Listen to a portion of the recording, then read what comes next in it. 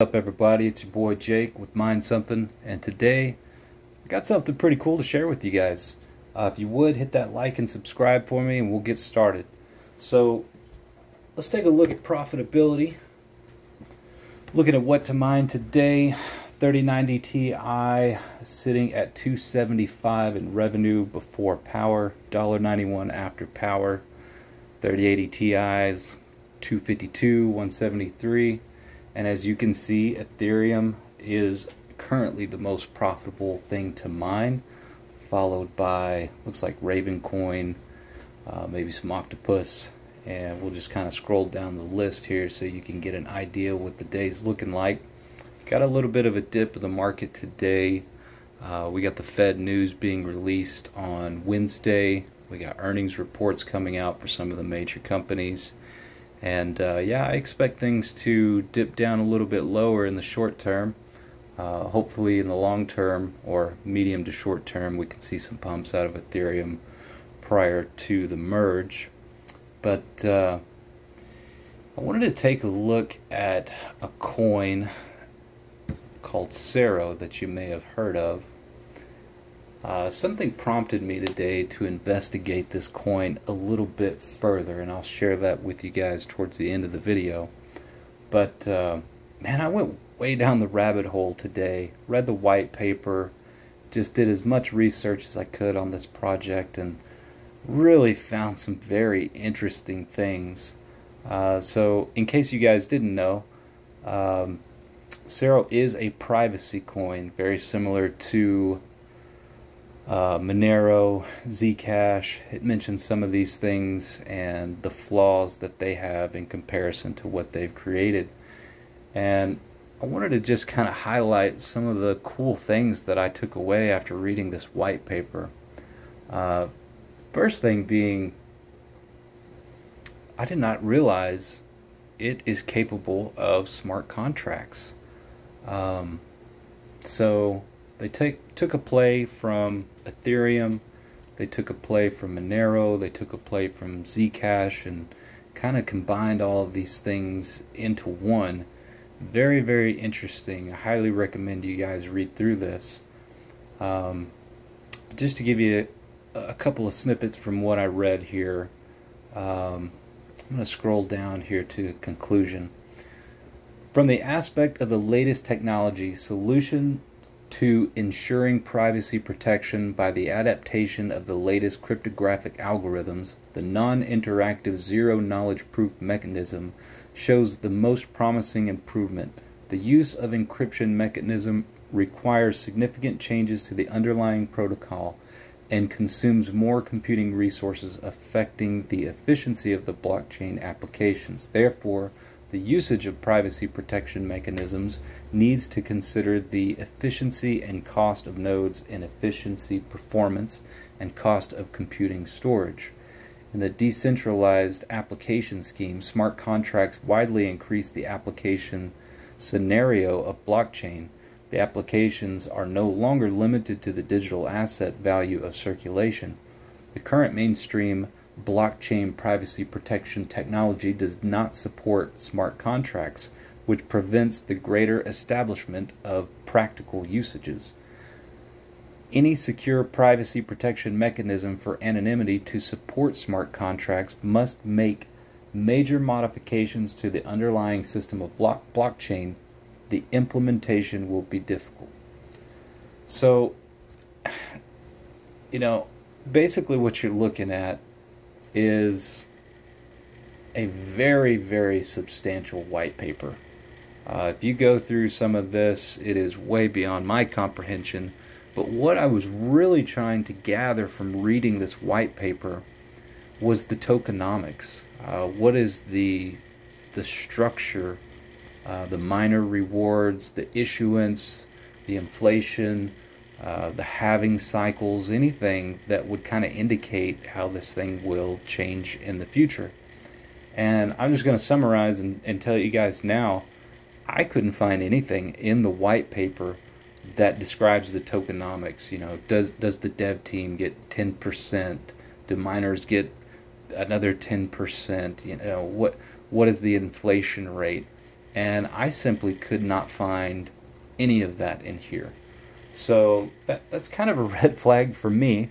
Um, and then as I got further down the rabbit hole, I started to notice a lot more red flags.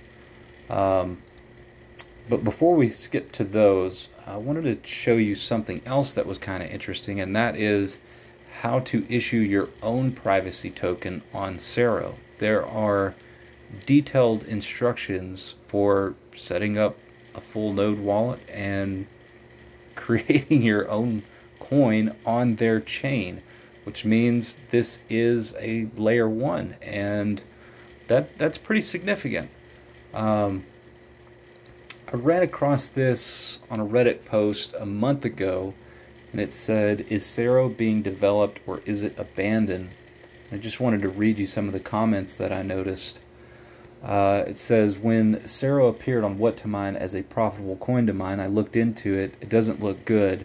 I stopped mining it after I realized there are only a few exchanges that trade it, and if they aren't developing it, it could be dropped at any time. Uh, but we got a response here. It's unlikely to be dropped either by Gate.io or Hotbit because it has stayed quite stable in comparison to most other currencies. There is demand for SERO because of its privacy coin functionality. The devs have gone silent. However, the dev created pools are still up, and the GitHub software is still being updated every now and again. The problem with SERO right now is the disappearance of the devs and the lack of independent dev community getting involved, and the limitations of the existing mining pools, which are stealing 40% of the rewards. Yikes.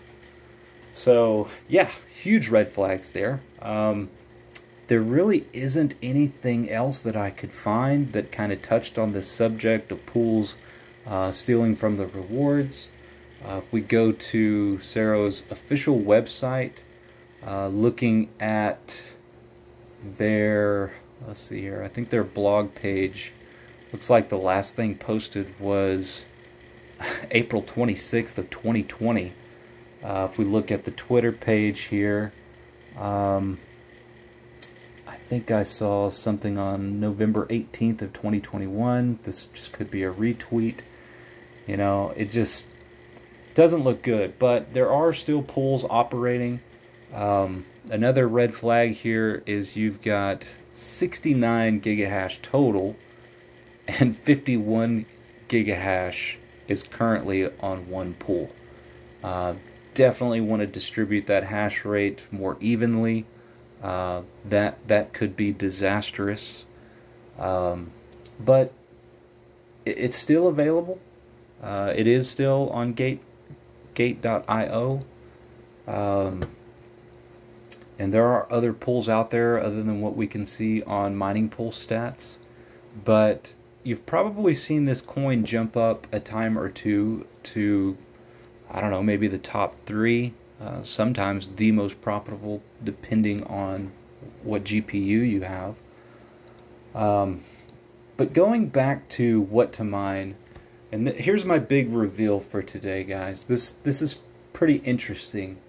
So you'll notice that you don't see SERO in the top three profitable coins here on what to mine. Uh, we're at 10 cents per kilowatt hour. Um, I'm going to take you over to the GPU page here. And this is kind of similar to what my farm is now. I threw a bunch of cards in there that I had to kind of kind of give you a mix of LHR or not necessarily LHR, but 3080s, 3070 Ti's, uh, some AMD cards, and this is this is pretty close to what I'm rocking right now. I think I'm close to 2 gigahash and I'm using at about 3300 watts at the wall mining Ethereum. Now at the wall that's probably closer to 4000 watts but at 10 cents per kilowatt hour uh, it's currently showing Ethereum to be the most profitable coin at 3677 before power and 2666 after power. Now, if you keep scrolling here, you'll find SERO coming in at $24.31 before power and $14.90 after power. Now, the reason I'm bringing this up today is because of this post on Reddit. SERO, the hidden number one most profitable coin to mine. WTF, SERO is the hidden number one most profitable coin to mine right now. My brain blew up while looking at it. There is a pool owned by just one guy for SERO with 0% fees, which makes SERO 50% more profitable than ETH. You can see for yourself.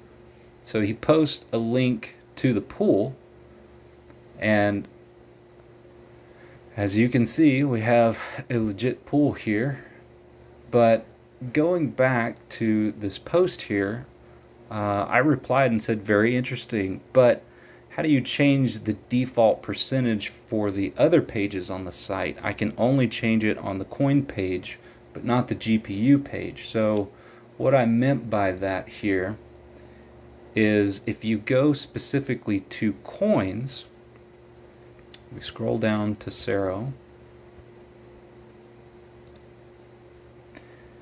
What you're going to notice here is under fees, we have 45%. Guys, what is going on with what to mine? Now, I'm not putting my tinfoil hat on. I'm not saying there's something nefarious, maybe just an oversight. But 45% is incorrect. If you go back and look at the pools, there's a 2% fee on the first two, 0% on the third, and I don't see a pool fee here on this last one. But, you know, if, if this guy's got 0% on his pool, let's change these numbers here. Let's say we got a 2% fee. So currently, before I change this, let's take a look at this. We are looking at a hash rate of 23.7, power at 420. Well, we can't go off of those numbers. Let's take a look at my farm specifically. And if we look at ProgPow, we've got 399 mega hash at 3900 watts. So let's go back here and remember those numbers. We'll just say 604,000, make it easy.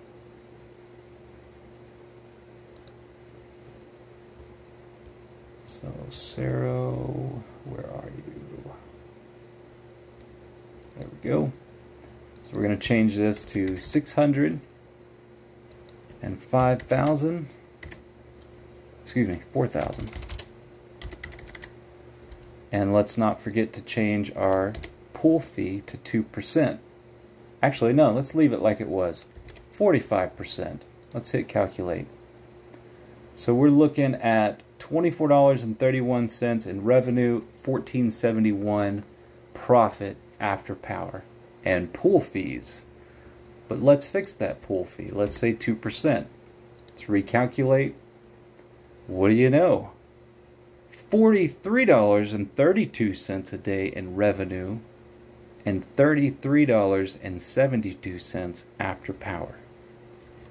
What is going on? I mean, considering what we were at with Ethereum, I want to say we were. Uh, let's just go look. We'll go back to GPUs, and it's telling us $36.72 and 26.62. Guys, that that's a dramatic difference.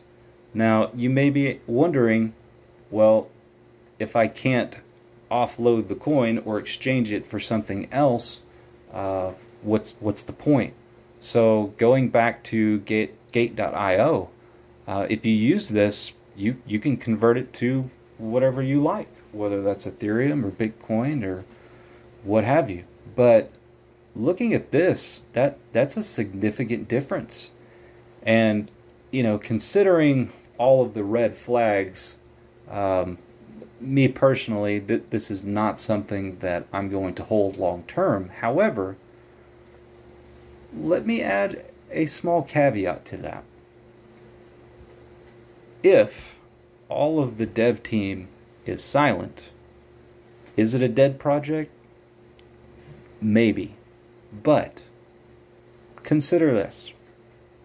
One of the reasons that Bitcoin is top dog is because there is no central party to point your fingers at. And that's the whole purpose of decentralization. Is this dev team incognito intentionally? Has everything been laid out there for us to run with? I don't know. But if you're looking for the most profitable coin right now, it's not Ethereum. It is SERO.